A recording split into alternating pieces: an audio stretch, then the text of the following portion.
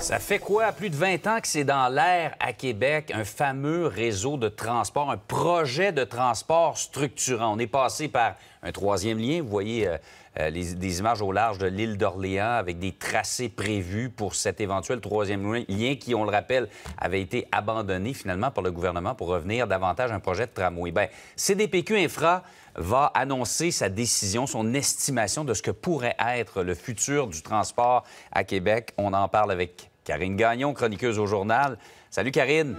Salut Jean-François. Euh, c'est li- littéralement, comme on dit, tout ça pour ça. C'est six années depuis que Régis Labaume avait annoncé ce projet de tramway pour revenir, de toute évidence, aujourd'hui à la case départ.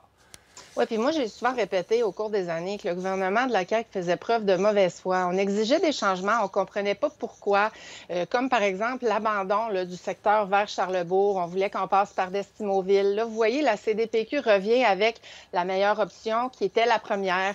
Alors, euh, c'est ça, c'est particulier qu'on en revienne là, euh, mais c'était le souhait du gouvernement hein, qui, au lieu d'aller en réalisation à l'automne dernier, a confié ce mandat-là à la Caisse de dépôt et de placement, qui clairement, par contre, il faut le souligner, je pense, ne s'est pas laissé influencer par le politique. Ouais. Est-ce qu'on peut parler d'un réseau de tramway euh, plus modeste par rapport à ce qui a été présenté, entre autres par euh, le maire Marchand?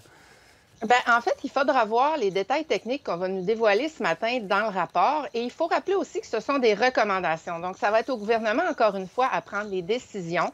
Et je pense qu'il va devoir y avoir des, discussions entre les partenaires. Moi, je m'attends à une collaboration entre le bureau de projet de la Ville de Québec, euh, du tramway, et la CDPQ Infra, hein, qui a levé la main quand même pour dire on est intéressé de continuer avec ce projet-là. C'est pas mauvais, dans le fond, il y a des experts dans les deux, euh, dans les deux dossiers. Et si ça permet d'améliorer le projet, tant mieux, mais il faudra voir l'influence de, ces modifications-là qu'on propose sur euh, la fréquence, l'achalandage, la capacité de transporter le plus de monde possible, parce que c'est ça l'objectif avec un transport lourd par rapport à l'autobus. Mais tu le dis ce matin dans ton commentaire dans le journal, le gouvernement doit donner le feu vert au tramway. C'est assez le temps euh, des tergiversations, des études.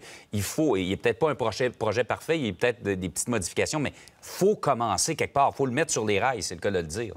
Ben oui, parce que je répète aussi souvent que ça fait 50 ans que le projet fait l'objet d'études, qu'on dit aussi qu'il ressort constamment comme le meilleur mode pour Québec, celui qui est le mieux adapté, euh, rapport qualité-prix et tout. Bon, on sait qu'il y a eu une explosion des coûts, mais ça, c'est à cause des délais engendrés, entre autres, par les demandes du gouvernement, euh, les, les- les attentes aussi pour accorder des décrets. Alors, euh, c'est ça. Donc, il faudra Mm. voir euh, si le gouvernement va aller de l'avant, parce qu'on ne peut pas le jurer. hein. Il y a eu tellement de, de, Ouais. de, de recul là-dedans. Là. Moi, je vais attendre qu'on donne le go. Mais là, on s'attend à ce qu'on aille de l'avant parce qu'on a de nouveaux arguments qui viennent, encore une fois, appuyer la réalisation de ce projet-là.